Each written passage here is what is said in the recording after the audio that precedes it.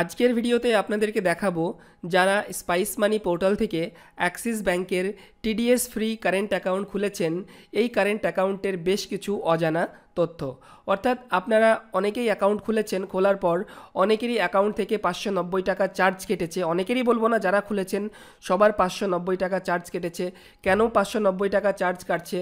এরপর আপনাদেরকে যে এটিএম কার্ড দেওয়া হয়েছে, সেই এটিএম কার্ড থেকে আপনারা মাসে কতগুলো ফ্রিতে ট্রানজ্যাকশন করতে পারবেন? মানে কত কতবার এটিএম কার্ড থেকে আপনারা টাকা তুলতে পারবেন ফ্রিতে তারপর ফ্রি লিমিট শেষ হয়ে গেলে আপনার কত টাকা এক্সট্রা চার্জ কাটবে? এই অ্যাকাউন্টের মেনটেনেন্স ব্যালেন্স কত থাকবে? অর্থাৎ আপনাকে মাসে ব্যালেন্স মেনটেনেন্স করতে হবে কিনা? কারও কারও অ্যাকাউন্টে আবার পাঁচশো নব্বই টাকা মাইনাস শো করছে, তো কেন শো করছে? এই সব কিছু নিয়েই হচ্ছে আজকের এই ভিডিও তো যদি আপনি স্পাইস মানির একজন রিটেলার হয়ে থাকেন এবং যদি টিডিএস ফ্রি কারেন্ট অ্যাকাউন্টের জন্য অ্যাপ্লাই করে থাকেন, আপনার অ্যাকাউন্টটা যদি হয়ে যায়, তাহলে অনুরোধ, ভিডিওটি লাস্ট পর্যন্ত দেখবেন, আপনার অনেকটাই কিন্তু এখানে কাজে আসবে।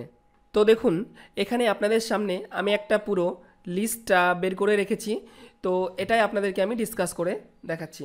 তো প্রথমেই দেখতে পাচ্ছেন, এখানে ক্লিয়ারলি মেনশন করেছে যে what are the consolidate charge তো আগেই বলে দিই যে এই কনসোলিটেড চার্জ মানে কি? কনসোলিটেড চার্জ মানে হচ্ছে ধরুন আপনার একটা অ্যাকাউন্ট খুলেছেন, সেই অ্যাকাউন্টে S M S charge ATM charge passbook charge debit card charge এই সমস্ত চার্জ আগে আলাদা আলাদাভাবে কাটতো। বাট এখন থেকে এরকম হয় না। এই সমস্ত চার্জগুলোকে একসঙ্গে নিয়ে যে চার্জ কাটা হয়, সেটাকেই বলা হয় কনসোলিটেড চার্জ তো এই যে কনসোলিটেড চার্জ এটা কি রয়েছে? তো দেখতেই পাচ্ছেন এখানে এখানে ক্লিয়ারলি মেনশন করেছে পাঁচশো নব্বই টাকা কিন্তু আপনার মানে এটা মনে হয় প্রতি বছরের চার্জ রয়েছে, ঠিক আছে? মানে এই যে চার্জটা আপনার এটি প্রতি বছর অ্যাকাউন্ট থেকে কাটবে। তো এবার আসি আমরা দেখুন কোশ্চেন নাম্বার ওয়ান তো এখানে কি বলেছে কোশ্চেন নাম্বার ওয়ানে এখানে বলেছে যে হোয়েন ডেবিট কার্ড পাঁচশো নব্বই টাকা charge will debit from my account মানে আপনি যে যখন অ্যাকাউন্টটা খুললেন, খোলার পর আপনার পাঁচশো নব্বই টাকা এটা কখন কাটবে? ঠিক আছে? এই যে ডেবিট কার্ড আপনাকে দেবে, তার চার্জটা কখন কাটবে অ্যাকাউন্ট থেকে?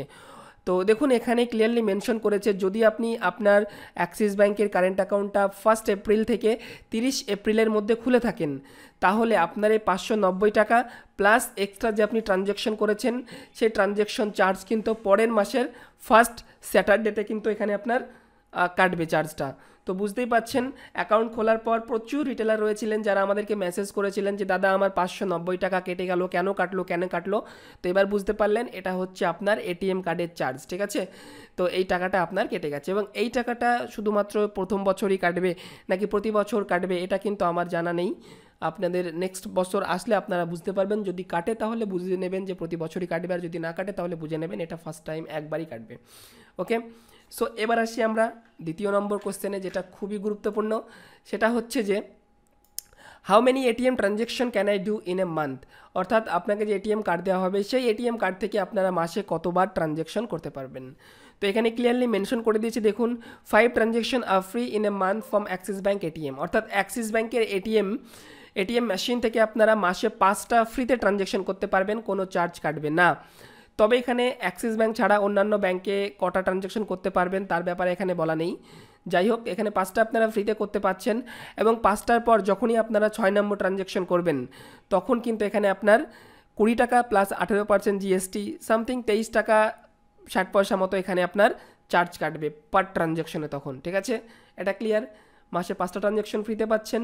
তারপর থেকে যত ট্রানজ্যাকশন করবেন, কুড়ি টাকা প্লাস আঠেরো পার্সেন্ট জিএসটি মানে তেইশ টাকা, প্রায় চব্বিশ টাকার কাছাকাছি আপনার প্রতি ট্রানজ্যাকশনে কাটবে ওকে সো দেখুন এখানে তিন নম্বর কোশ্চেন যে what could be the reason for the rejection মানে অনেকেই অ্যাপ্লাই করেছেন spice money TDS free account তো অ্যাকাউন্টটা রিজেকশন কেন হয়েছে?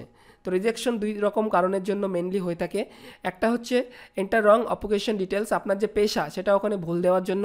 আর দ্বিতীয় হচ্ছে নট শোয়িং অরিজিনাল ডকুমেন্ট আপনাদের যখন ভিডিও কেওয়াইসি হয়েছে তখন আপনারা অরিজিনাল ডকুমেন্ট দেখাতে পারেননি জেরক্স কপি বা এই জাতীয় কিছু দেখিয়েছেন, সেজন্য কিন্তু এখানে আপনার রিজেক্ট হয়েছে ওকে আচ্ছা এবার হচ্ছে চার নম্বর কোশ্চেন এটা খুবই একটা গুরুত্বপূর্ণ কোশ্চেন তো এখানে বলেছে যে why are the M A B অর্থাৎ monthly account balance, charge being debit from my account তো দেখুন, অনেকেই এটা জিজ্ঞাসা করেন আমাদেরকে যে, দাদা, আমার যে অ্যাকাউন্টটা রয়েছে, সেটা জিরো ব্যালেন্সের অ্যাকাউন্ট হবে নাকি মাসে ব্যালেন্স মেনটেন করতে হবে?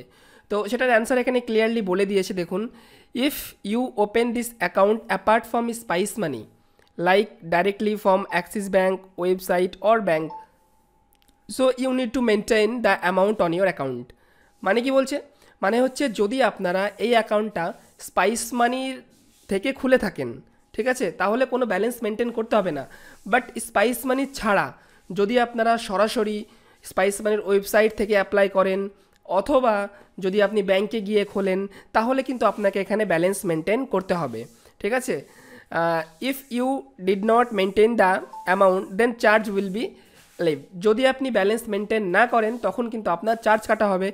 তো যারা স্পাইস মানি থেকে খুলেছেন স্পাইস মানির লিঙ্ক থেকে, তাদের কিন্তু এখানে ব্যালেন্স মেনটেন করার কোনো রকমের দরকার নেই। এবার এখানে অনেকেই প্রশ্ন করতে পারেন, "দা- দাদা, আমার ব্যালেন্স জিরো ছিল, তবুও কিন্তু আমার ব্যালেন্স এখানে মেনটেনেন্সের জন্য কেটেছে। তখন কি করবেন? যদি এরকম কাটে, তখন আপনার এই যে ডিসপিউটটা কিন্তু তখন এটা ফরওয়ার্ড করা হবে স্পাইস মানি থেকে কনসার্ট ডিপার্টমেন্টে আপনার এই যাতে যেটা কেটেছে সেটা আবার ব্যাক নিয়ে আসা যায়, ঠিক আছে? বেশিরভাগ ক্ষেত্রেই কাটবে না। যদি কেটে থাকে, তখন এটার ব্যাপারে আপনি ডিসপিউট করতে পারবেন। ওকে সো এই হচ্ছে পুরো সিস্টেম এবার আমরা চলে আসি পাঁচ নম্বর কোশ্চেনের দিকে। তো এখানে বলা হচ্ছে why my account showing in negative balance মানে আপনার অ্যাকাউন্টে অনেকেরই অ্যাকাউন্টে দেখাচ্ছে জিরো ওখানে দেখাচ্ছে ব্যালেন্স মাইনাস দেখাচ্ছে ব্যালেন্স তো মাইনাস কেন? তো মাইনাসটা এই জন্যই ধরুন আপনি অ্যাকাউন্ট খুলে ব্যালেন্স জিরো করে রাখলেন, করে রাখার পর দেখছেন যে এক মাস পরে কী হলো? আপনার ওখানে মাইনাস পাঁচশো নব্বই টাকা হয়ে গেছে। কারণ কারণ হচ্ছে ওই যে আগে প্রথমে বললাম যে আপনার ডেবিট কার্ডের চার্জ পাঁচশো নব্বই টাকা কাটবে। এবার আপনার যদি অ্যাকাউন্টে টাকাই না থাকে, তাহলে কী হবে? ওটা মাইনাস হয়ে যাবে অটোমেটিকলি এবার আপনি যখন আবার টাকা লোড করবেন, তখন ওটা আবার কেটে নেবেই আপনার ঠিক করে দেবে, ঠিক হয়ে যাবে, ঠিক আছে? সমানে চলে আসবে। তো এই হচ্ছে পুরো বন্ধুরা সিস্টেম অ্যাক্সিস ব্যাংকের যে টিডিএস ফ্রি অ্যাকাউন্টটা ছিল, তার বিষয়ে কিছু গুরুত্বপূর্ণ প্রশ্ন এবং তার উত্তর। যদি ভিডিওটি আপনার ভালো লাগে, অবশ্যই এটা লাইক করবেন, বন্ধুদের সঙ্গে শেয়ার করবেন, আর যদি আপনি চ্যানেলে নতুন হন, অবশ্যই চ্যানেলটিকে সাবস্ক্রাইব করবেন।